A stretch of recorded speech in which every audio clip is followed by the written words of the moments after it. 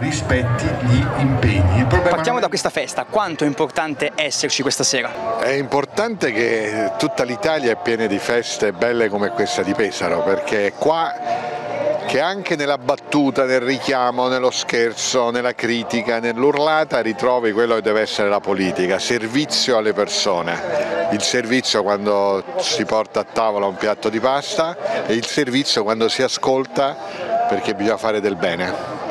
E poi il tema di questa sera, del dibattito di questa sera, come si sta comportando l'opposizione attualmente?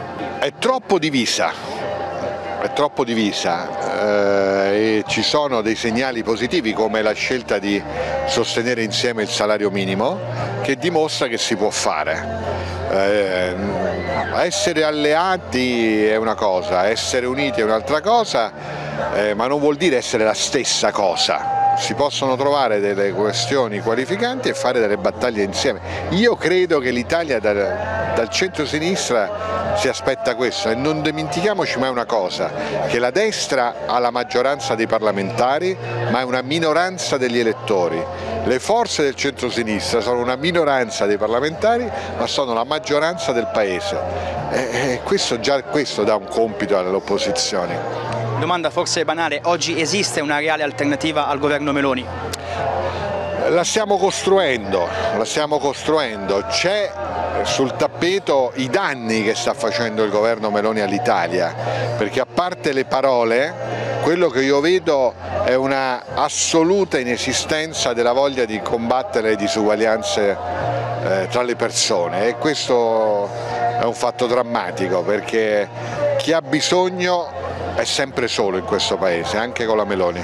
Qual è attualmente la situazione nel PD? Io credo che con le elezioni di Lashline si sia riaperto un canale di dialogo con l'Italia.